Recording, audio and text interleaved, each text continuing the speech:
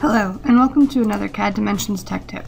I'm Mindy, and today we're going to talk about the Copy Settings Wizard. The Copy Settings Wizard allows you to save your SOLIDWORKS system settings, as well as restore them to users, computers, and profiles. This is great when you've upgraded to a new computer, you want to share your settings with a coworker, or you've just reset your SOLIDWORKS registry while troubleshooting and want your customization back. There are three ways to get to your Copy Settings Wizard. The first, if you're in SOLIDWORKS, go up to your Tools, Save, Restore Settings. The next is under the Task pane on your Resources tab under SOLIDWORKS Tools, you can choose Copy Settings Wizard.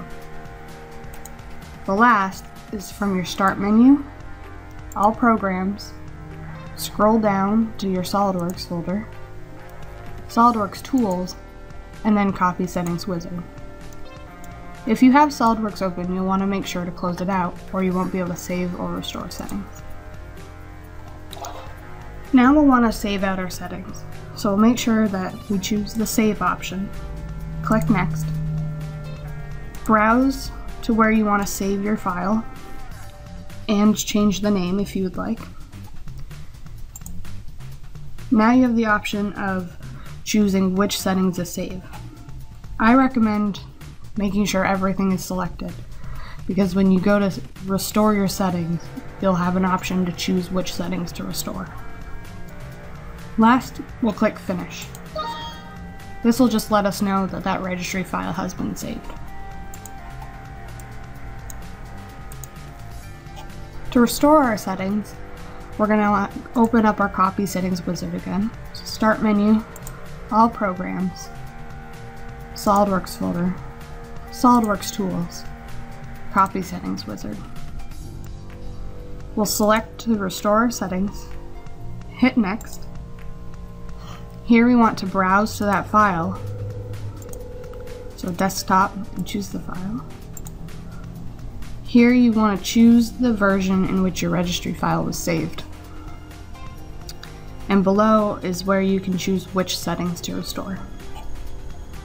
Once you have made these selections, click Next, and you'll have to choose the destination of those settings. Most of the time you're going to choose current user, but there is also an option to do one or more computers on a network or a roaming user profile. We'll click Next and we get to the last option. This is SOLIDWORKS allowing you to create a backup of the current settings that are on your computer.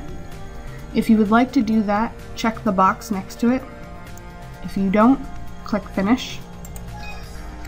SOLIDWORKS will remind you that you haven't created that backup and ask you one more time. If you're all set, again click Yes, and it will let you know that the settings have been successfully copied to the current user. Thank you for watching another CADimensions Tech Tip. We hope you join us again next time.